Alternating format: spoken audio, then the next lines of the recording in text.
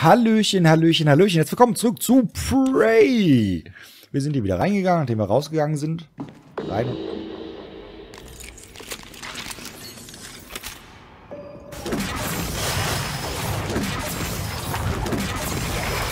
Oh nein, das sind zwei.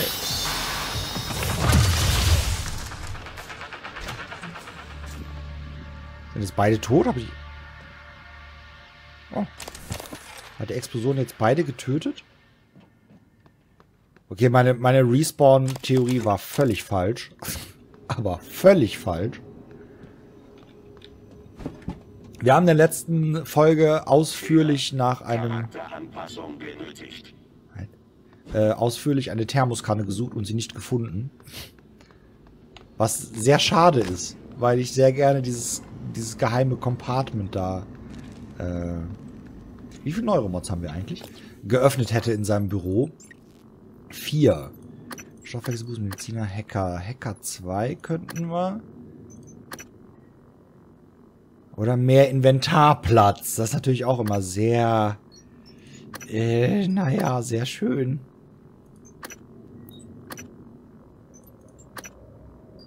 Ausdauer, Zähigkeit, Schusswaffen.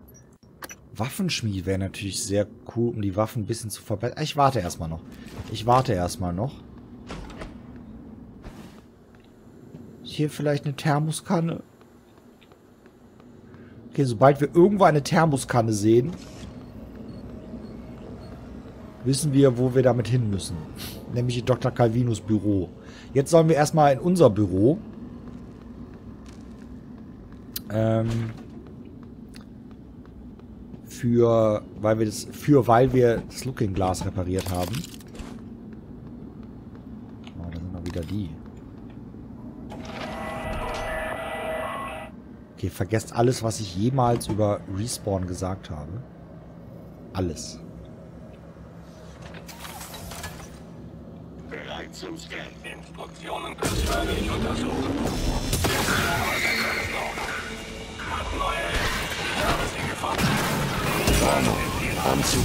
Beschädigt.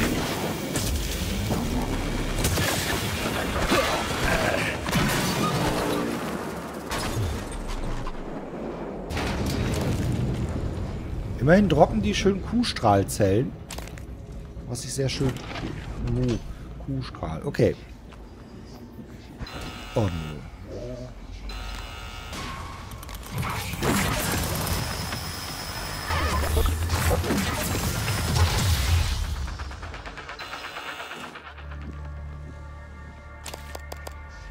nein!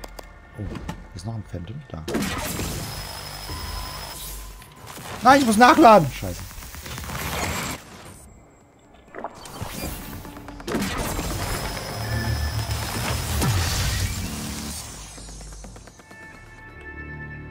Ich mag diesen Kuhstrahl sehr gerne. Okay, äh, warte mal. Inventar. Haben wir irgendwas zu schnabulieren? Duckbier, ein Gesundheit. Das lohnt sich nicht. Das macht uns alles betrunken. Anti-Red. Ach, wir haben Anti-Red? Okay. Okay, wir brauchen auf jeden Fall äh, Anti-Rep... Äh, hier, Anzug-Reparatur-Kits. So, da haben wir wieder ein bisschen mehr Platz.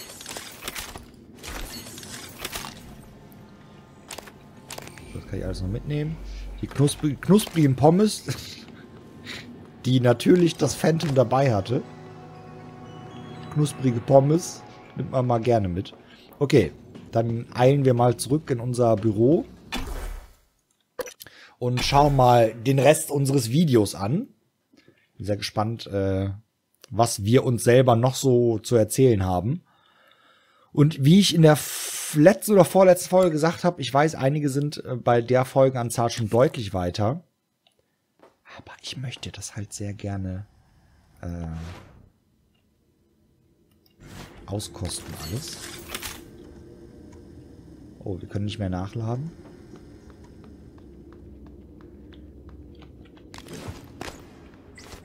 Oh. Inventar ist voll. So, Video ist dahin. Oh,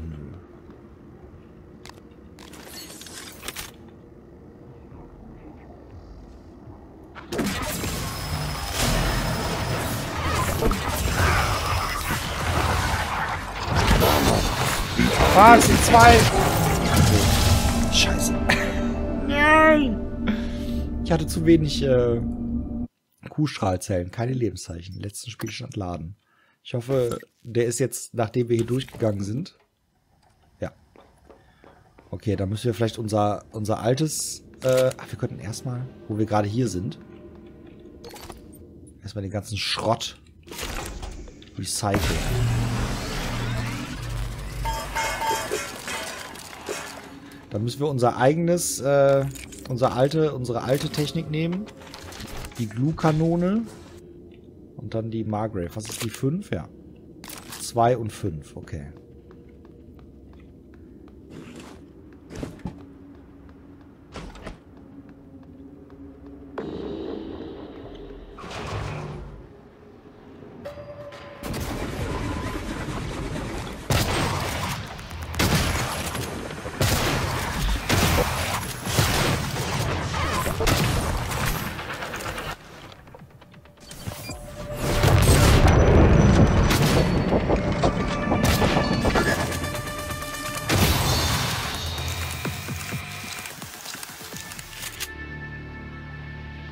Ist doch nur eine, der sich immer so ein bisschen aufgeteilt hat. Und warum da manchmal Fragezeichen, Fragezeichen, Fragezeichen steht, obwohl das doch eigentlich... Das sind doch eigentlich Phantoms, oder?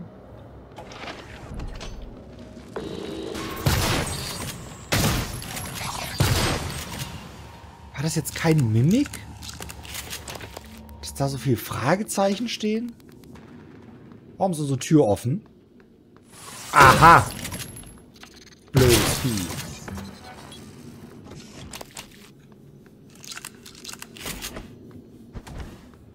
Okay. Gleich gucken wir uns das Video an. Erstmal natürlich, so ich möchte auch, glaube ich, mal den ganzen Alkohol. Ich bin, ich bin ja gegen Alkohol, ne? Stellt ein Gesundheit her, halt Furcht. Egal, weg damit. Hier den Bourbon auch. Ne, Anti-Rats behalten wir. Duckbier kann auch weg. Äh, erstmal kurz sortieren. Da die Flexiform-Bolzen können auch weg. Was ist das? Recyclerladung? Nee, Kuhschrallzellen bleiben auch da. Neuromod, die werde ich natürlich auch nicht recyceln. Das wäre Quatsch. So, wir haben, glaube ich, keinen Plan für Kuhstrahlzellen. Ne? Schade. Aber wir haben einen Plan für ein Medikit. Da haben wir gerade einige verbraucht. Da können wir nochmal zwei... Wie viel haben wir? Elf? Okay. So, die können wir mitnehmen. Dann ähm, machen wir noch ein paar Schrotpatronen.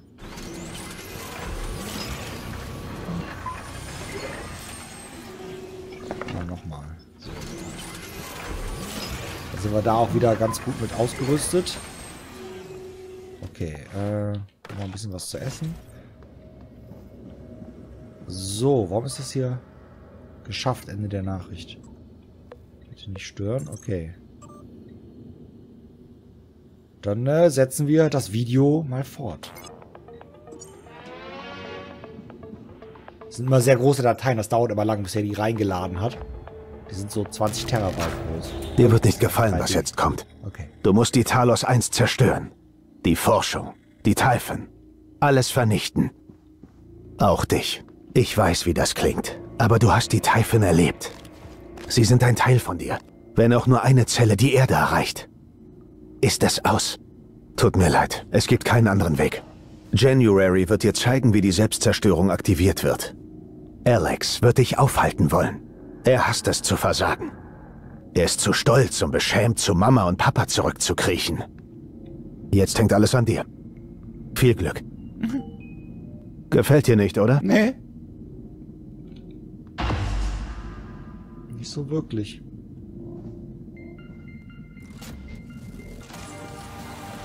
So, äh, ruft mich January nochmal an? Oder, oder nicht so? Sprich mit January. Okay, wie? Hallo Morgen. Ah. Ich bin January 2035. Ich bin ein Operator. Es gibt viele Operator auf der Talos 1, aber keiner davon ist wie ich. Morgan, Ja. Ach so. Ach, hä? Okay. Ich bin Ihr Plan B. Meine erste Aufgabe war es, Sie aus der Simulation zu befreien. Dann sollte ich Ihnen das Video zeigen. Alles erledigt. Interessant. Ich habe jetzt Zugang zu weiteren Anweisungen. Die Selbstzerstörung der Talos 1 wird durch zwei Zündschlüssel aktiviert. Ihr Bruder hat den ersten, Sie den zweiten. Alex hat Ihren Zündschlüssel zerstört. Sie haben jedoch einen Fabrikatorplan für einen neuen in der Datenzentrale versteckt. Dorthin müssen Sie sich als nächstes begeben. Danach können wir uns Gedanken um Alex Schlüssel machen. Die Typhon breiten sich schnell aus, Morgan. Das wird ein Wettlauf gegen Sie und Ihren Bruder. Mit dieser Schlüsselkarte haben Sie Zugang zum Hauptaufzug und allen Laboren. Was? Welcher? Wo? Wo? Schlüsselkarte. Generalschlüssel! Leider konnte ich den Aufzug von hier aus nicht reparieren. Es gibt einen anderen Weg durch das Psychotroniklabor.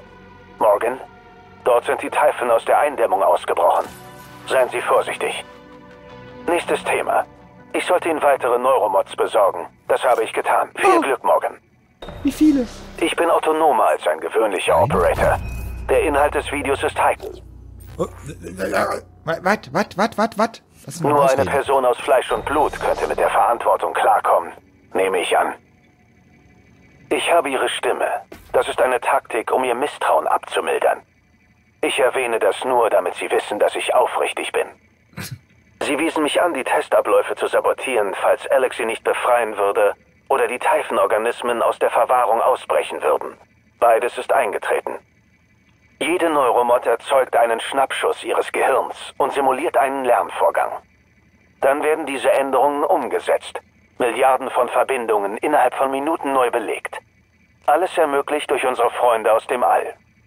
Warte, warte. Simmons installierte leere Neuromods bei ihnen. Daher konnten sie sich an den Test des vorherigen Tages erinnern und fliehen. Okay, das war alles? Mehr hast du nichts zu sagen. Guten Tag, Talos. Guten Tag. Okay, der hat uns 19. jetzt einen Neuro... Er hat jetzt wirklich einen Neuromod tatsächlich. Der hat uns einen. Einen einzigen Neuromod hat er uns gegeben. Na geil. Da bin ich verlockt. Da bin ich nicht ganz so verlockt. Da bin ich sehr verlockt. Da nicht ganz so. Da erhöht deine natürliche Lebensdauer um 25 Jahre. Das ist sehr schön. Wir leben also länger. Um 50 Jahre und um 75 Jahre. Sehr gut. Vielleicht sollten wir mehr Gesundheit nehmen. Um 150. Ich glaube, ich nehme mal mehr Gesundheit. So, haben wir noch zwei. Da sind wir auch voll geheilt. Das ist super. Äh, mit zweien können wir noch, könnten wir noch das, nee, das brauchen wir nicht. Ihr Büro ist relativ sicher. Kommen Sie zurück, wenn Sie sich ausruhen oder den Fabrikator benutzen möchten. Ja, werde ich machen. Apropos, da haben wir jetzt aber keine neuen Pläne bekommen oder so, ne? Disruptor, dann machen wir die ganzen Ausrufezeichen weg, damit ich das nachher sehe, was neu ist. Okay, nee, das hilft uns alles nicht weiter. Jetzt die Frage, kommen wir mit dem Generalschlüssel in die Psychotronik rein? Äh, Ziele. Betritt die Psychotronik. Ich muss an der Hauptsache, es gibt einen anderen Weg. Erst muss ich das Psychotroniklabor. Das ist natürlich die Frage, komme ich dann damit dann da rein? Ja, wir schauen mal.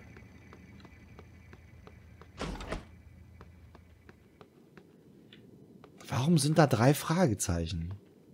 Ist das nicht einfach ein Mimik? Ich bin verwirrt. Ja, das ist jetzt... Okay, das ist jetzt ein einfacher Mimik, ja? Da steht es auch wieder dabei. Ich bin verwirrt. Okay, der Hauptaufzug ist noch nicht repariert, aber wir können jetzt in die Psychotronik. Ich hoffe, das geht tatsächlich mit dem Generalschlüssel. Da hinten. Nein, ein Phantom. Beziehungsweise...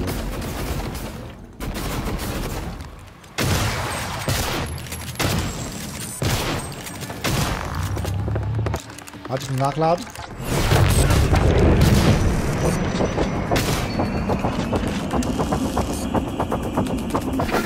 Wo ist er denn? Da.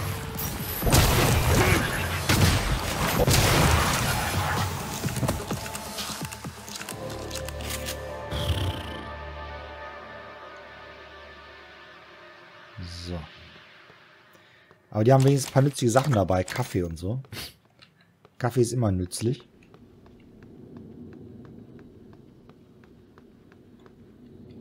Generalschlüssel, Tatsache. Nice. Schreib mich nicht so. So, was haben wir denn hier? Türüberbrückung. Wahrscheinlich für da, denke ich mal. Aber wir schauen uns erstmal ein bisschen um. Hacker 2 haben wir noch nicht, ne? Schade. Okay, da brauchen wir also einen Code für irgendwas in der... Ah. Hallo Elias, du hast deinen Charakterbogen auf dem Drucker liegen gelassen. Vergiss nicht, dass wir das Spiel in den Aufenthaltsraum in den Besatzungseinrichtungen verlegt haben und es eine Stunde später als sonst losgeht. Tu uns allen den Gefallen und schluck vorher ein paar Glückspillen. Bis dann. Alle klar. Äh, wen haben wir hier? Elias Black. Was hat er für die E-Mail? Juri. Wie sich herausgestellt hat, ist Juri Kimura wie alle anderen auch. Mehr dazu in der Mittagspause. Das ist total hilfreich. Kann ich mit dem Generalschlüssel entriegeln?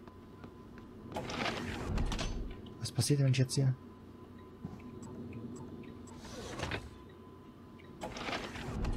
Was passiert denn da? Ach, nur die Tür. Ach, die Tür geht dann zu. Okay. Also das geht dann hier auch mit dem Generalschlüssel.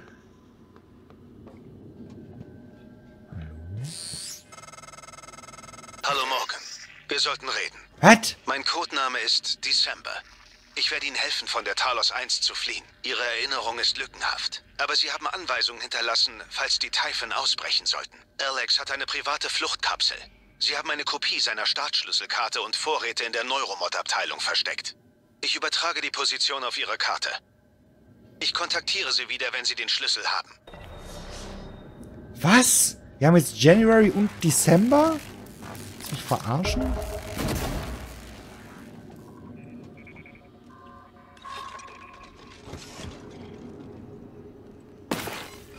Damit wir hier sicher durchgehen können.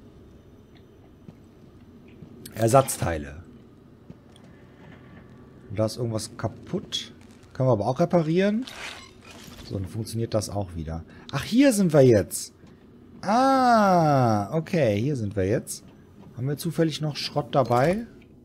Ja, ein bisschen haben wir. Ja, ist doch gleich. Wo wir schon mal dabei sind. Okay, sonst gibt es hier aber keine Infos, keine Computer, kein gar nichts. Okay. Wer ist denn jetzt Dezember? Jetzt bin ich total verwirrt. Die Ziele, Hauptgeschichte, Umweg. Optional wäre es Dezember. Hol den Schlüssel zur Alex-Fluchtkapsel in der Neuromod-Abteilung. Da waren wir doch auch schon, oder nicht? Okay, wir schauen uns erstmal, aber erstmal hier um. Früher wollte ich, dass wir im All nicht alleine sind. Und jetzt wärst du lieber allein im All. Lieber drei Fragezeichen, Mann. Anzug wurde beschädigt.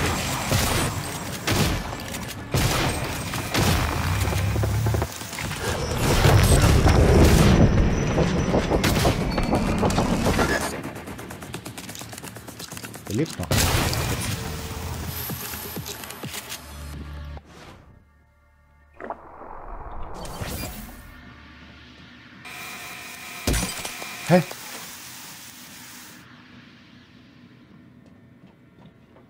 Toll, das war ja super.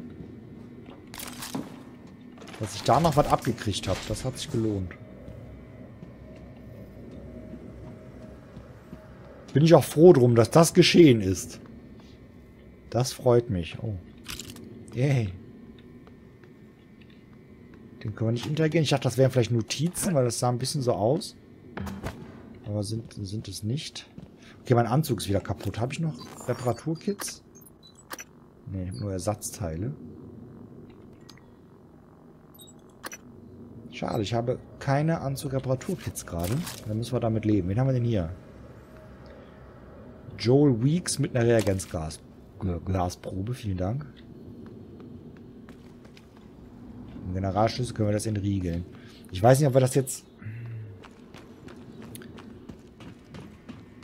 Ich weiß nicht, ob ich das jetzt schon machen will.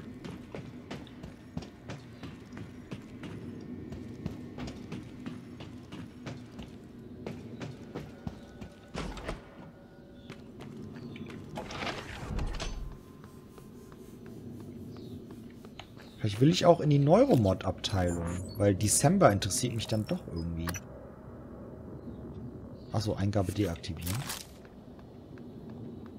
Fluchtkapselschlüssel.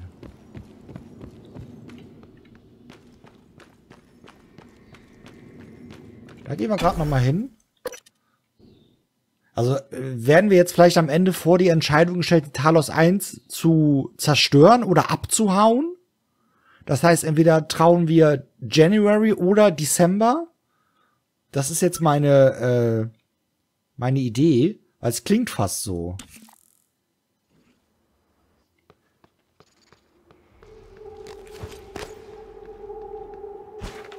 Hier komme ich eh noch nicht rein.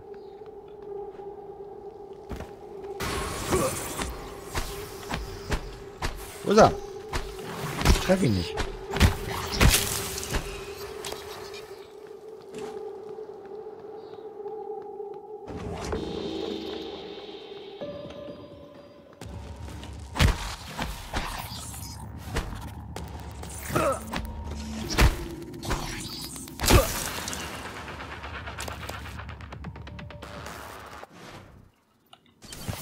Wir jetzt gerade hier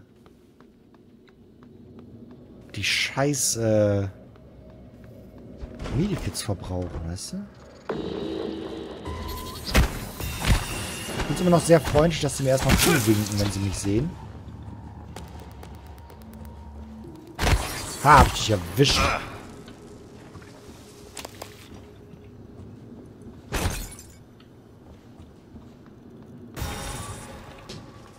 Du bist dieser Stuhl. Nee, doch nicht. Dann gehe ich weiter.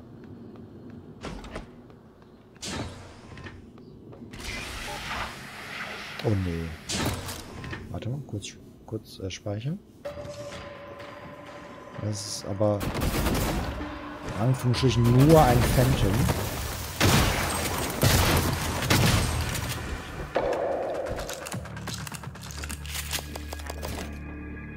Auch immer die jetzt hier machen, weißt du?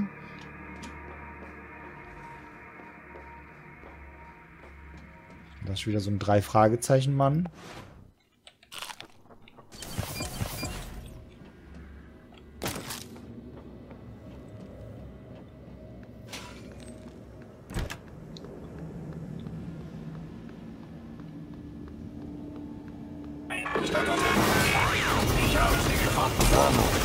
Anzug wurde beschädigt.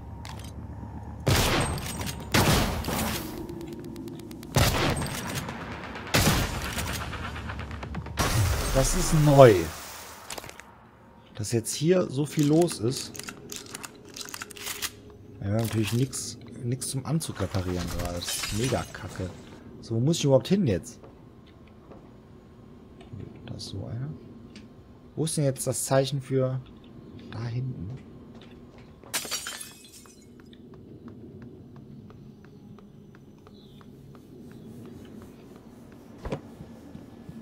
Okay. Ich doch hier lang? Geronimo!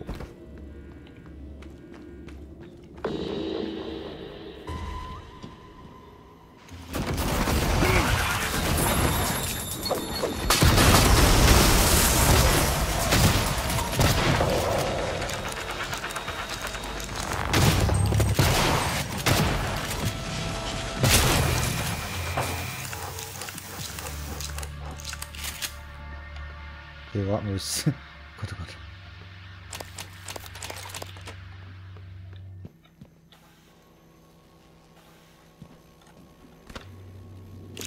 Lochkapselschlüssel. Eine Notiz. Tut mir leid, morgen keine Ahnung, wie du die gekriegt hast, aber ich kann dir die Schlüsselkarte nicht überlassen. Vertrau mir, du würdest es bereuen, Alex. Wie schade. Dann müssen wir improvisieren. Kommen Sie zu mir ins Foyer. Ihr Büro ist nicht sicher. Äh, Hätte man das direkt am Anfang schon finden können? Das wäre jetzt mal interessant. Ob man das direkt, wenn man da drauf gesprungen wäre, ganz am Anfang, ob man das da direkt schon hätte finden können. Okay, aber wir machen für heute hier Schluss. Speichern eben noch. Und äh, ich sage vielen, vielen Dank fürs Zusehen. Ich hoffe, ihr hattet viel Freude, Freunde. Und jetzt die Frage, January oder December? Wem vertrauen wir? Mit wem arbeiten wir zusammen? Bis zum nächsten Mal bei Prey. Macht's gut. Tschüss!